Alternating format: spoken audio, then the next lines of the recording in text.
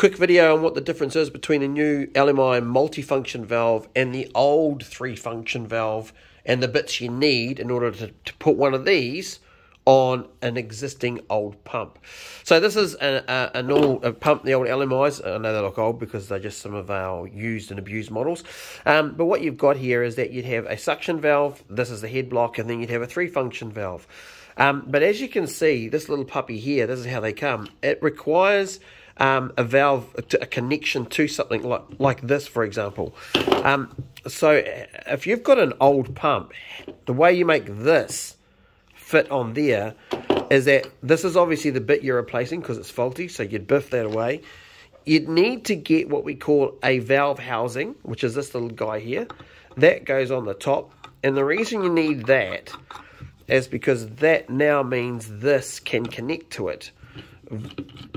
And away you go. So what you'd need in order to, um, if you had an existing LMI pump and it had one of these on it, a three-function valve or a four-function valve, and you said, can I have a replacement one of these? You'd need these two things. You'd need a valve housing, which is that black thing there, and of course the multifunction valve. That's for an old LMI pump.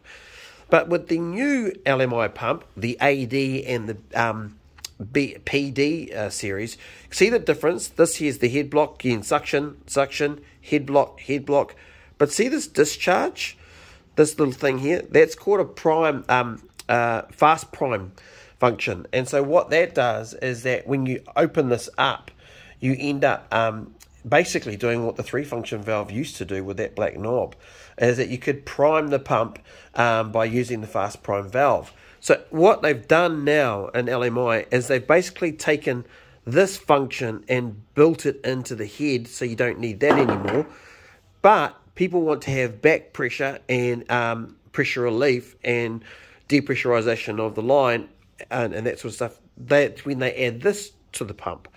Um, and of course, if you get the newer versions, which the, this is what we sell now because these are the old versions, this comes with the valve on it, that valve there. So if you said to me, I've got a new pump and I would just need uh, uh, like a, a valve, a four function or three function, we would give you the multifunction valve. And that because the valve's already on it, see there, it just connects straight away. And happy days, you're all good. Of course, you screw it down properly, but for the sake of the video to make things faster. So yeah, that's to explain basically if you've got an old pump, you need two things.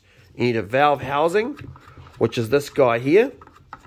A valve housing, it obviously comes with an O-ring. And of course the multifunction valve, and now this will connect to this. If you've got a newer model, which is the AD and the PD models, it'll come with that um, valve housing. So all you need is the multi-function valve. Hope that makes sense. Any questions, obviously give us a call at Liquid Pro.